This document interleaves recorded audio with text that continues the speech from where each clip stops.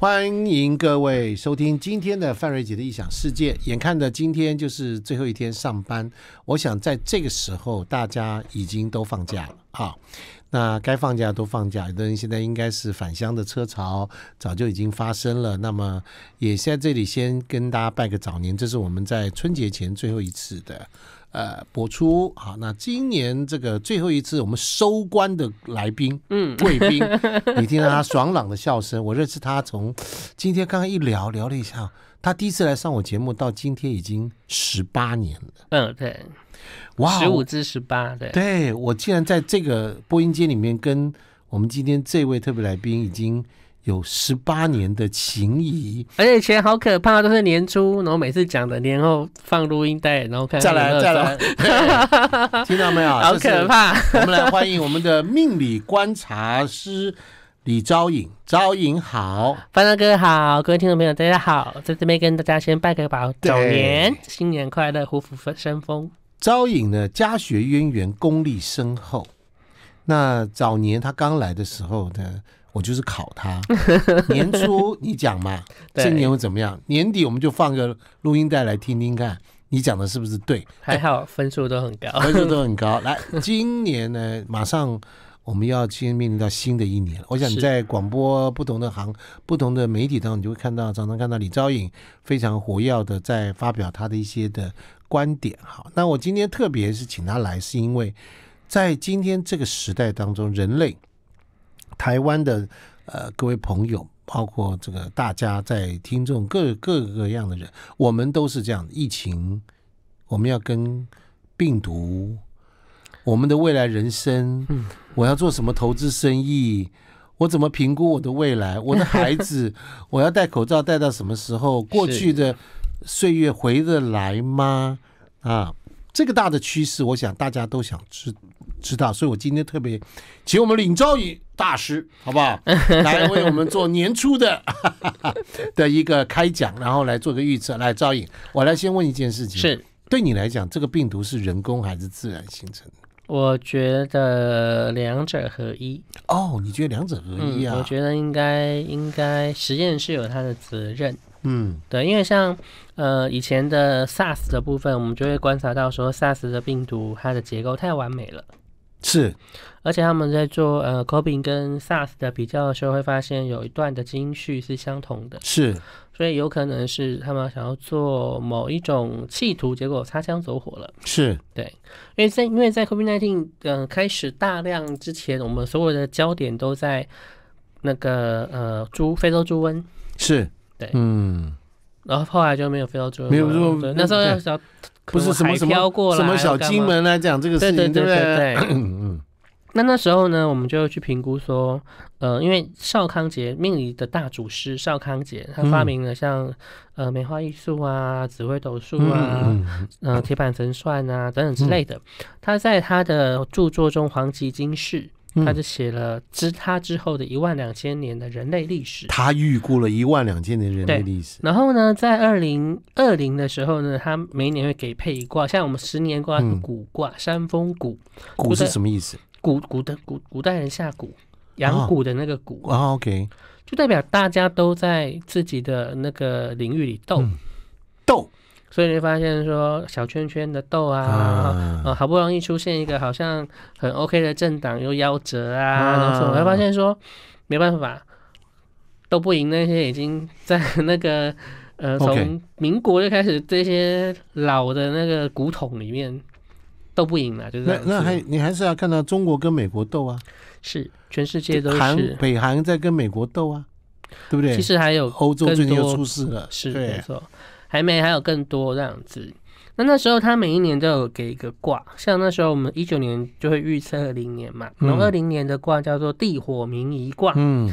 地在上，火在下，那意象是说太阳掉到地上了，大地一片失去，大地无有光明，一片黑暗，一片黑暗。那时候我们就在思考，我也跟玉芬姐讨论说，这是什么事呢？是战争吗？嗯，外星人吗？彗星撞地球吗？嗯，什么样的状况会变成让大地一片黑暗，大家都无法动弹？嗯，结果是 COVID nineteen，COVID nineteen，对呀。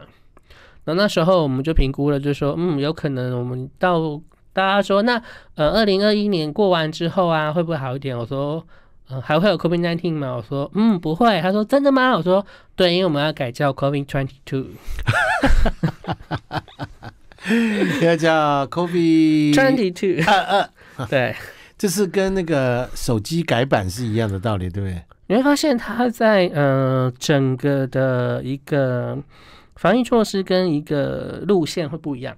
嗯，比方说两季的人一样突破性的感染，嗯，然后呢，它的一个社区链细胞、细胞防疫那些东西都会发现说，跟你之前的评估通通不一样了，思维也改变了，所以所以就变成大家都已经心里有个预期，就说我可能要每一年都打了，可能要一年四季都要打，对然后变成他现在就从呃六个月、三个月一季打一直说对，，季嗯然后再来呢，他也弄到了一个，比方说，嗯、混打，那你是先打什么的，不能打什么？你是打什么，必须要打什么？这叫鸡尾？鸡尾酒疗法的疫苗打 吃打法，对我，们就头很痛啊，头很痛啊，就弄到我觉得说第三季要不要打不打，反正我出国好了。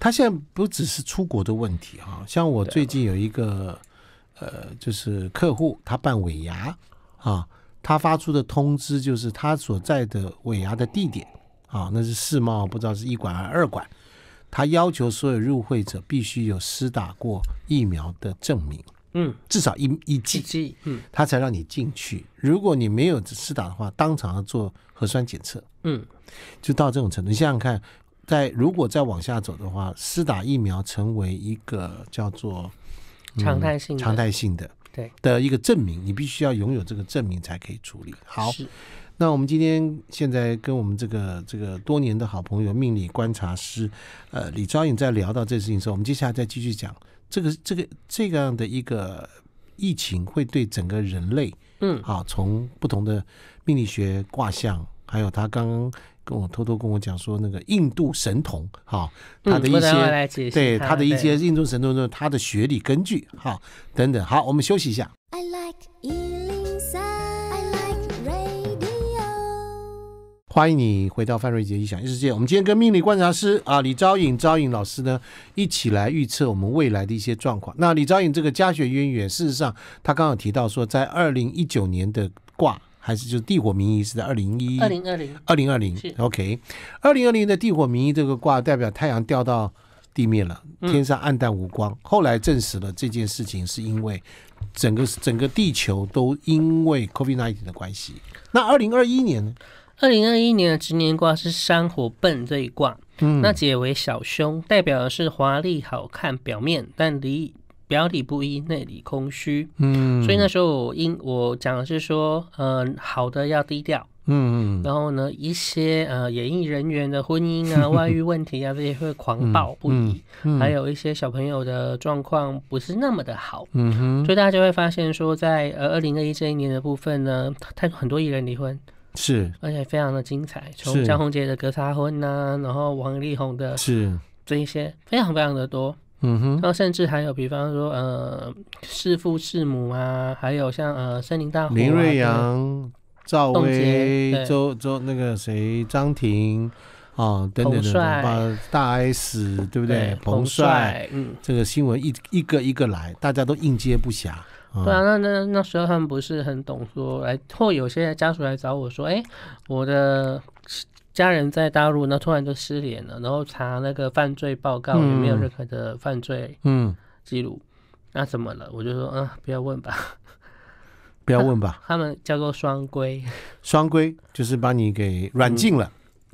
但是给你很好的生活条件，是。可以吃很好的东西，然后一个范围给你运动，什么东西都有，就是不能对外联系。就不能对外联系，因为你可能就是某一个刑事事件的断点，对对对，对对他把你排除在这个东西之后去追，而不是你有你有病，你有你有那个罪，并没有不一定是这样子。所以呃，如果照这样的话，那二零二二年，二零二年会是什么？明年？二零二二年通常呢，它是我们讲有六十四卦嘛，嗯。然后从呃上康不是从那个朱熹的六四象取卦歌，我们可以知道说，呃，水火既济卦理论上是最好的卦，啊对不对？明年是水火既济卦，对，好，但是问题是，你是水强还是火强，对不对？水强那火灭，嗯。火强水干，OK，所以就是一个什么样的平衡？嗯，所以呢，我们会说这个是一个小吉的卦，为什么？啊，小吉，出则吉，嗯，我煮东西，我把东西煮熟了，对，我就关了火，我就用水跟火的力量去得到我要的是。资粮嗯。跟生活所需。但是我如果继续放，放了很多的水，结果最后这个水也烧不开，对，或者说我不放水，一直加火，这个锅受不了，对，所以变成呢，它前期会是一个出则吉，中则凶，嗯。所以很多人在上半年呢，因为呃，二零二二年是所谓的壬寅年，那壬寅年是木运太过的年。那木运太过，就会发现说有几个状况：一，明年的植物会长得非常的好，植物，对，所以变成说会大丰收，嗯，但限上半年。所以我们现在在很多的通膨啊，什么小麦啊、稻米啊，然后什么很贵，在明年的上半年渴望缓解。嗯，但是如果大家有便宜的话呢，下下半年如果比较能放的东西，还是要先买起来。OK，嗯，对，所以对我们生活需求当中，做生意的人来讲，投资的人来讲，开店的人来讲，嗯。对不对？好，像我那时候就讲说，二零二一年的上半年是呃，少阴太阴司土司天，然后呢太阳寒水在全，就代表说我们上半年会很湿但干旱，嗯然后呢下半年会冷，而且会雨，嗯，就风雨就冷，嗯。然后很多地方会呃森林大火跟火山爆发跟淹水，嗯，那果然就一一应医验。对。然后可以讲可以讲疾病吗？当然可以讲，呃，因为今年两颗凶星在最后的这个月哈，是从一月的七六号到二月四号，已经大年初四喽，嗯，会报禽流感。哦，那呃，国外已经进来，台湾不知道，所以如果你的家里习惯是拜拜要有什么鸡、鸭、鹅的，先赶快买起来吧，要不然你可能过年买起来没用啊？我我存不了啊，对啊，冰箱啊、冰柜啊，要不然其哎实你到时候可能就买不到了。我要不然就是很贵。你你讲禽流感，我心里面就有一个很伤心的往事，就是因为呢，我很喜欢吃鹅肉，嗯但是因为禽流感消灭了台湾所有的鹅，嗯所以有一大段时间，台湾所有的鹅鹅肉店卖的都是鸭，对啊，对对不对？对，这这就很少很少再吃到鹅肉了，跟我心中这么爱的鹅肉，这个好分离了很久。你现在又在讲到禽流感又来了，甚至不知道是谁。好，鸡鸭鹅，对啊，会飞的都会掉下来。我们只能说会飞多下，因为看巽宫的部分，二黑五黄并星入住之后，就代表说跟这一宫有关都不好。演绎、幼哦童、幼童、长翅膀的、会飞的，演绎、长翅膀、幼童这三个。对，所以你表示说今年还会再爆发演艺圈的一些，还没啊，今年还会有还会有啊。啊。对啊，只是呃，他们是是要过，像那时候我们讲这个的时候是在呃，我不知道范大哥有没有影响那个陈冠希事件。嗯哦，很多那时候我们看到前几张照片，我就说假的吧，因为那时候跟整个苹果啊、一周刊都很好这样子，然后嗯新就这样子，然后我们就内部发，然后越看就越不对，因为那时候我们那些记者还在开玩笑说陪那个冠希陪你过新年，嗯。哇塞，结果 你看毁掉多少艺人，是啊，那好不容易那他们的经纪人就来台湾找我、啊，我们就努力的把听话的谢霆锋给救起来。嗯，所以谢霆锋就后来就翻身啦，大家都说他是一个好丈夫啊，是啊是啊是啊是啊。这有秘密的啦。我就秘密的教他一些方法那，你觉得王力宏可以再起来吗？有机会的，你也觉得有机会呢？有机会。你跟我看法，很像。嗯，因为呃，他处理的虽然慢，但后面的部分来讲，我觉得只要女生不要再，那那他其他那些人不要我觉得他们俩说什么我觉得他们两个都会各自红，会在各自走出各自的路。是因为李静蕾的部分，我觉得他很厉害。好，很厉害，怎么厉害呢？我们休息一下，好吧？嗯。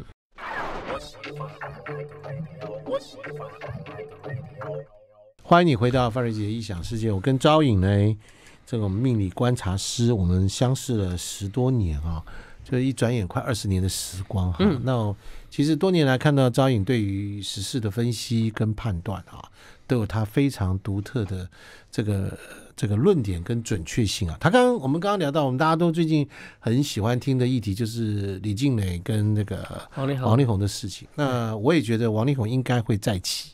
啊会会，你看罗志祥都出来了，呃，我跟他们俩 不太一样的两次不太不太不一样太一。样的逻辑啊。那么这个我们就不必赘述了，因为等到事后可以看到。但是至少知道李静蕾她已经呃开创了一个新的女性思维的时代，她有一个范儿，对，有一个范儿，对不对？对这个范儿就是说，哎，你看这里是一个典范，是一个示范。这是一个模范，类类似这个模式，嗯哈，这个板块出现，这个模板出现了，所以叫李静蕾现象还是出现了。那当然，呃，这个大量的媒体的报道，以及未来李静蕾自己的一些所作所为，跟他的一些想法，他基本上是会一直不停的影响。但是大致来看，他已经建立了是个很有思维、很有逻辑、很有想法的一个女生，是不是？赵颖，大家就说他是雷神呢、雷神，雷神之锤，哎，是，对，这网友给他的昵称啦，哈、对，好，但是你刚刚说到演艺圈会有大量的，还会有继续有这样的一个现象，是还有过世，比方说陈升勇大哥，嗯哼，对，然后还有像呃，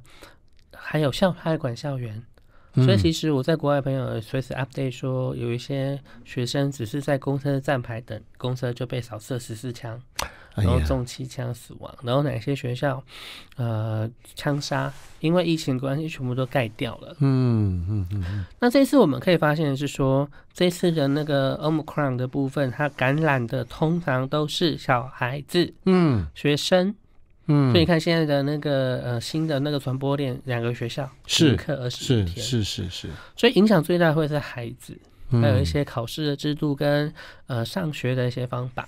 像在今在今年之前，我不会，我搞不懂线上上课要怎么教，嗯，但现在我线上上课觉得，哎、好方便，我不用出门，是 那个啊架着我就可以开始教教课了，是子。对，嗯所以这就是我也是因为疫情来的关系，被迫在家待了五个月，然后呢，要被迫学会在线上做所有的会议、对，沟通、谈判，做所有的提案，线上被逼迫的。而且有好多，好像好多工具哦，什么那个王美灯，然后什么 Webex，然后什么呃还有什么 Zoom，还有什么 Google Meet，还有什么各全部都用。对，那当然这个所以说，呃，我想大家也都因为这个疫情而学会了在自我的虚拟世界里面，线上在云端在工作。哈，是，那个张颖，我们刚刚有提到四个字叫印度神童哈，对，他阿南达在对阿南达，他在网络上每一次发表看法，都是几千万人在那边朝圣的东西哈。只有台湾吐槽他，只有台湾的酸民在酸他而已。啊，台湾酸民我们就不提了哈。我们必须要去思考对说，印度是一个不亚于中国的古文明，是。所以他的占星学是非常非常的厉害，厉害。嗯。像比方说那时候他说啊，火土合在五月，所以呢大家都要小心一些，然后就有国师出来说，小小呃先生，那个火土合每年都会有啊。嗯。可是问题他没有去思考过说，它跟其他行星形成了一个什么样的相位，对。我们叫做 yoga，形成了什么样的 yoga？比方说，嗯。我所有的行星呢，我的日月金木水火土罗喉基督不算，只是。分在三个宫，嗯。所以这三个宫看起来就像一把三叉戟，嗯哼。是代表说啊，我李昭颖我是三叉与瑜伽的人，嗯哼。所以呢，我讲话就像三叉戟一样，嗯。会去伤到别人的。嗯哼哼哼所以呢，建议我就是呃话说一些，然后举起我的标志，然后呢不要出口伤人。它就有很多，还有无尾人瑜伽，还有什么？在这一盘呢，同样是火土合在五宫的时候呢，我们只看单纯的命盘吗？不，单纯的命盘叫第一万盘，嗯哼我们还要再去看第九盘，这叫分盘，嗯，还要到第六十盘，第六十分盘，也就是说，两颗星在一个这宫位的看法有六十种。这就要请老师来解答了，对不对？但是你刚刚说那个印度神童，他有呃，来自于他的这个失传。你说他最近还拿到学位是不是？他们是真正的印度占星学校，嗯哼，是有学位的，他是是。博士学位，他是费陀财政专心的专家。所以他表现出来说叫印度神呢，因为我们我们在台湾得到印度的新闻资讯，对这个国家的 perception 都是说这个国家很脏可是啊，恒河乱洗，然后然后呢很落后，然后到处都有妇女被那个性侵、强暴，对不对？啊，这个国家是这样给人家这种印象，然后跑出个印度神童，第一个小孩子，对不对？既然叫神童嘛，很年轻，那你们有没有看他额头上有画图文？是他的图文嘛，所以他对我们可以代表知道说他是属于婆罗门阶级的嗯孩子。是，所以说啊，第一个这个在台湾的酸民说那是小屁孩，孩子怎么样了，对不对？很多人在这样讲这个，我就很想说，那你十四岁你在干嘛？人家李昭颖十四岁的时候就已经学成了那个，我十四岁我就开始教书啦，就开始教书了。对呀、这是看有没有天分的问题嘛，或者有没有努力学习的问题，对不对？好，那他确实在财政占星有他很厉害的一套，嗯至少他目前的预言的准确率，不敢说百分百啦，八九成一定有。一定有。好，我们回到一个最重要的正题，就是明年按照那个李昭颖说的，就是上半年可能会看到不错的状态。对，但是中段可能五月、六月、七月的状况就会出现一些不好的情况。半半年后，所以因为上半年好，所以大家就会想说，这个时候我就要在放松警戒心。呃，呃，依住我的资金嗯。去扩大或干嘛。嗯可是因为二零二三年叫做水火未济的卦，哦，二零二三年叫水火未济。水，火未济就是我已经弄好了，对，就停了，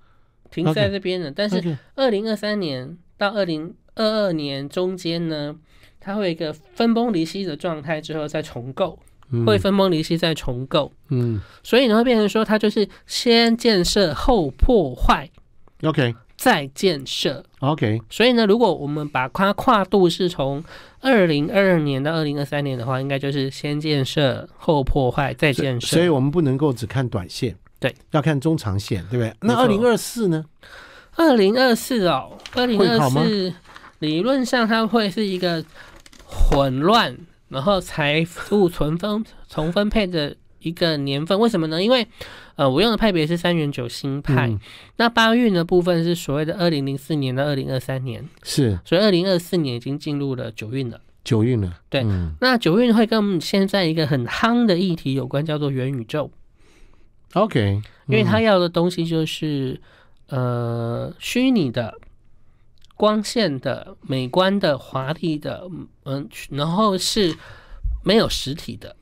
嗯所以像游戏业啊，像什么呃 cosplay 啊，像呃一些嗯 足球，像一些运动啊，像一些东西都有这样的东西，没有实质的。就像我们当年看比特币的时候是一样的道理，对不对？对现在虚拟货币已经非常兴旺了，是嗯对不对？就一样的道理。到二零二四年的时候，这些元宇宙的元素会更清晰了。对我这样讲没错吧？可以这样说，可以这样说甚至可以有可能，比方说以后远距就是大家都在远距，然后我设定码之后，我有一层课，我我有一套课程，我把它做成了那个是是然后呢，大家就戴上眼镜，然后来看。对，好，我跟你讲说，这个就是那个呃什么样的风水，来画一下，对一座山就出来了，山了，画一下一座河就出来了，所以大家就在家里看到老师在那边跳来跳去，然后拉出很多的线条，然后什么的，对，就是很上课啊。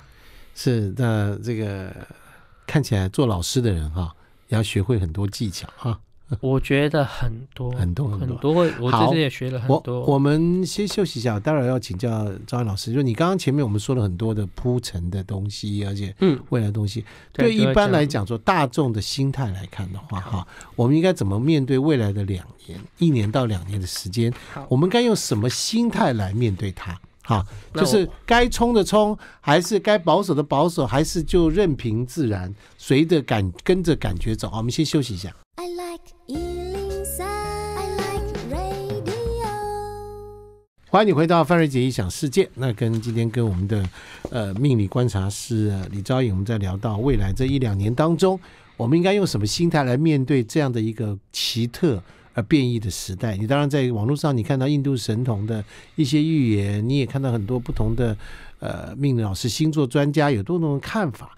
那李昭颖今天要跟大家来做一些建议，哈，在未来两年当中，你从呃学理的观点来看，好，从不同的这个经或不同的方法来看的话，是怎么去处理？对，那首先我们就来看一下地母经哈，在呃二零二零年的话，他写的就说太岁庚子年，就是去年，嗯哼，然后呢前年的啦，前年，人民多爆竹，嗯哼，春夏水淹流，高田游及半，是非常准确的哦。开始人有一些暴毙的状况。暴毙，嗯好，那二地母经怎么来看二零二二年的部分呢？我们就不去看他的考证了哈，我们就直接来看说他在讲什么。嗯哼，哦二零二零年的地母经原文，他这样写的哦，他说：“太岁壬寅年，高低尽得风。这是二零二多少年？二二，二二年啊，嗯，就你去对对对，嗯二二哈，嗯确定一下，二二春夏成甘露，秋冬处处通。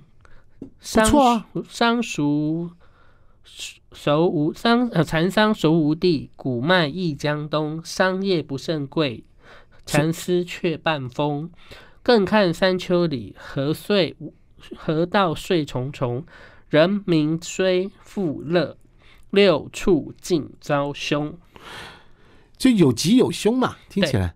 这代表说啊，明年的那些商业啊、嗯唾液啊都不贵啊，养殖这些蚕啊，嗯有的没有的、啊、都没有什么问题。可是你做出来的成品好像没有那个我们讲说良良率不高啦，嗯哼哼，良率不高，嗯应该这样说。古代不会这样讲。对，然后呢，那人民虽富乐，但六畜尽遭凶，就代表说，呃，对于动物像动物性的传染病，或者针对动物的禽流感啊，你刚刚说的禽流感这个是，嗯，对，然后它还有一个补文叫做“虎首直睡头，处处好田畴。商妥夜不贵，残娘免忧愁嗯，” OK，这个就是地母经讲的东西。你把它翻成大家对这明年这个二二零二二年啊，我们应该用什么心态来面对？好吧，翻讲给他听。顺其位而行，不怨乎其外。大家都在讲斜杠斜杠斜杠人生，嗯那在二零二二年不是一个好的斜杠的时机，并不是，不是一个出来创业的时机。也不是，而是你必须要在上半年做完一个我叫做蓝图，一个、嗯，或者是用一个东西去叫牛刀小试。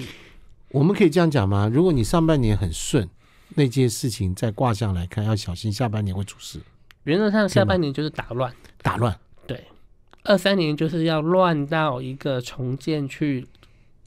过渡到二四年的九运，刚好台湾 这个明年也要开始就进入选举年，也是一个大乱局的重整，对不对？如果像范大哥有注意到，你会发现说，其实呃有一些老厂牌或一些公司好像已经悄悄的换了招牌，嗯。换了颜色，嗯。比方说台台湾大哥大有没有注意到？它把它是。本来是白色，然后漂漂亮，现在改成橘色。嗯。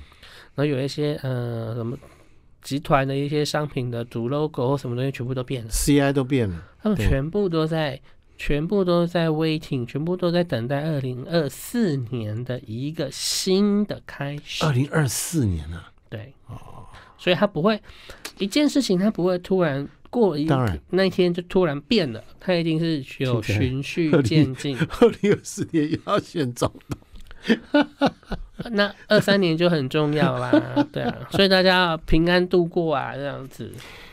我个人认为啦，因为我这这个过去这一年多看到 COVID-19 带来的冲击，我们自己做商业规划跟商业判断的人，当然我们不是像招引呢，我们有什么可以有什么卜卦啦什么来讲这个事情，但是从商业的逻辑来判断，我们在这这些年，大家是不是觉得你的大脑的思维改变了？你嗯，过去不敢面对的事情，你都必须要面对了。是的，你必须要知道你在居家跟家人相处长时间。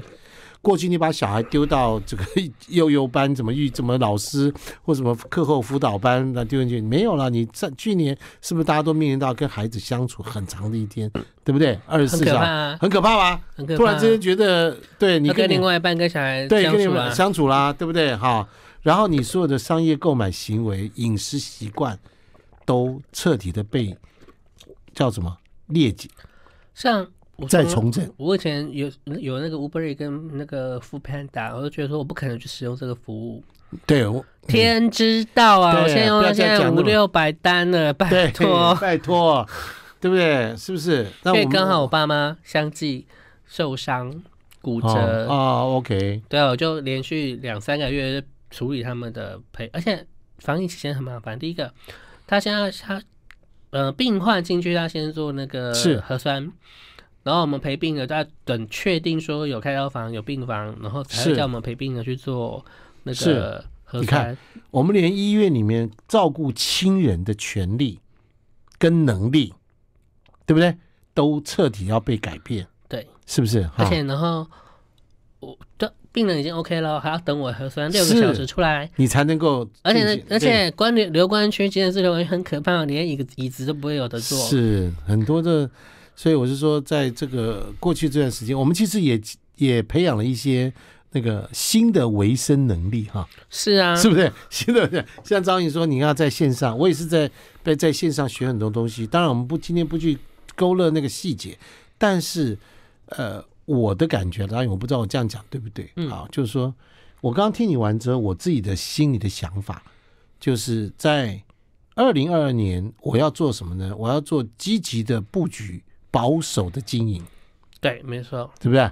积极的布局就是我很努力的，过去我可能呃没有办法，这个这个可能呃做一分准备，今年要做三分四分准备，多做一点准备，但但是是在周转跟资金上面就要抓非常，非常低，而且嗯不想不要去碰触太多的风险，没错。是不是哈？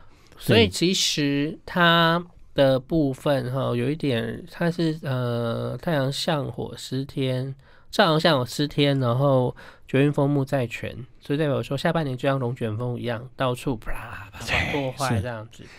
所以就是能撑过二零二二下半年的时候，你就拿到了挑战二零二三年的入场券。是然后拿到入场券之后，你就会去重新堆叠出二零二四年开始的二十年大运。二十年大运，也就是说，你等下我们休息一下。张元要告诉我们，我们跟一我们跟这些 COVID nineteen 跟这些过的 COVID twenty two 的这些的病毒，我们到底要跟它货到什么时候，我们才会开始比较有点正常的生活？我们休息一下。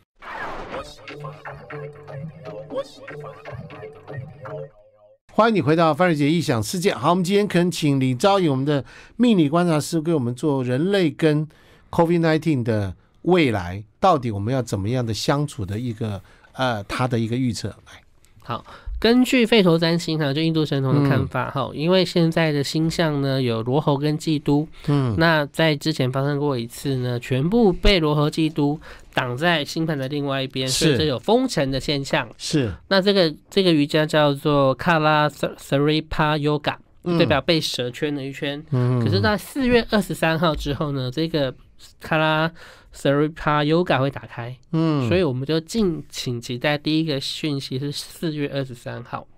四月二十三号，那假设说那个时候呢，这个封城打开之后没有造成大规模流行的话呢，那呃，COVID-19 的部分这样的病毒可能会慢慢的变成了慢性病，或者是大家都这么说，对不对？或变成了呃一种类流感的一个状态，对，这样子，然后它慢慢慢慢的呃消失，这样子你觉得它是慢慢消失的？慢慢消失，但是要好几年。好几年，嗯，因为有很多的很多的病症在当年都是无药医的嘛，嗯，可是现在就没有什么太大的状况，嗯，所以这需要时间。呃，我自己个人认为，很多人都问我说：“哎呀，你觉得要多久？”在刚开始的呃二零二零年的年初的时候开始发生的时候，他说啊，这个半年一年就过去了嘛，对不对？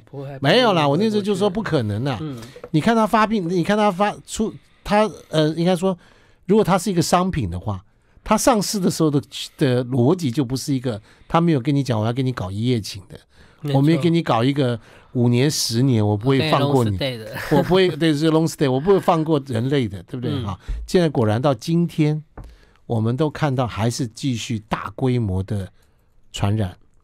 而且好因为台湾的防疫措施的关系，所以很多人忽略了世界上的实相。是世界上的实相嘛？对啊，你看，像我姐在英国，她还打完三剂了，两剂，然后她也都没去哪里啊，她中嗯她感染 确诊，然后他在家就变成他在家煮饭干嘛，然后戴手套，他摸过东西全部要杀菌，然后干嘛点点点。他说，最可怕，他说最可怕的东西是，呃，一到太阳下山就没电，然后呢，嗯再第二个就是他就没电了。真的没有嗅觉跟味觉。他说嗯哇，这样我真的不知道怎么煮饭。